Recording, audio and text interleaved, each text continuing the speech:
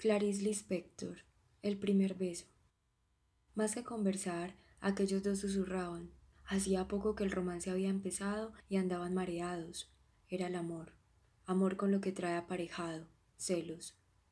Está bien, te creo que soy tu primera novia. Eso me hace feliz. Pero dime la verdad. ¿Nunca antes habías besado a una mujer? Sí, ya había besado a una mujer. ¿Quién era? preguntó ella dolorida. Toscamente él intentó contárselo, pero no sabía cómo. El autobús de excursión subía lentamente por la sierra. Él, uno de los muchachos en medio de la muchachada bulliciosa, dejaba que la brisa fresca le diese en la cara y se le hundiera en el pelo con dedos largos, finos y sin peso como los de una madre. Qué bueno era quedarse a veces quieto, sin pensar casi, solo sintiendo.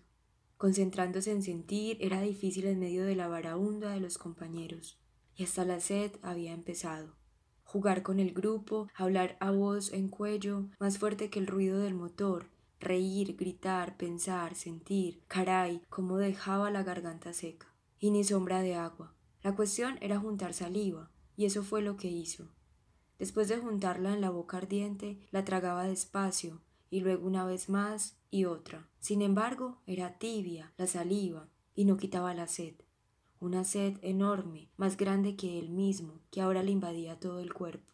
La brisa fina, antes tan buena, al sol del mediodía se había tornado ahora árida y caliente, y al penetrarle por la nariz le secaba todavía más la poca saliva que había juntado pacientemente. ¿Y si se tapase la nariz y respirase un poco menos aquel viento del desierto? Probó un momento, pero se ahogaba enseguida. La cuestión era esperar, esperar. Tal vez unos minutos solamente, tal vez horas, mientras que la sed que él tenía era de años. No sabía cómo ni por qué, pero ahora se sentía más cerca del agua, la presentía más próxima y los ojos le brincaban más allá de la ventana recorriendo la carretera, penetrando entre los arbustos, explorando, olfateando.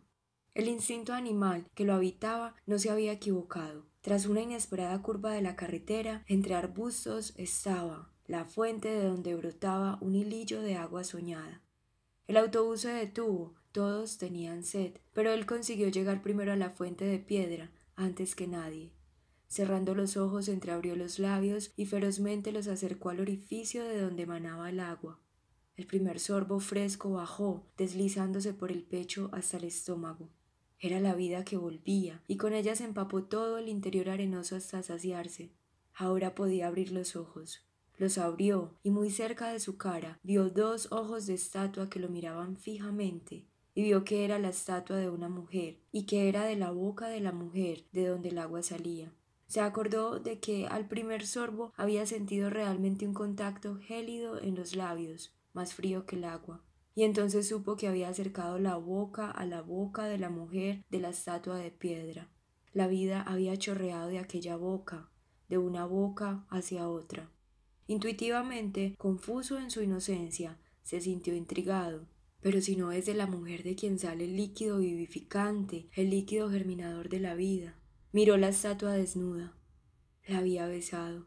Lo invadió un temblor que desde afuera no se veía y que, empezando muy adentro, se apoderó de todo el cuerpo, explotando el rostro en brasa viva. Dio un paso hacia atrás o hacia adelante. Ya no sabía qué estaba haciendo.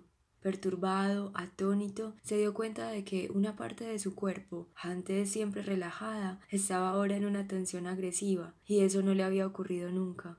Dulcemente agresivo, se hallaba de pie, solo en medio de los demás, con el corazón latiendo pausada, profundamente, sintiendo cómo se transformaba el mundo.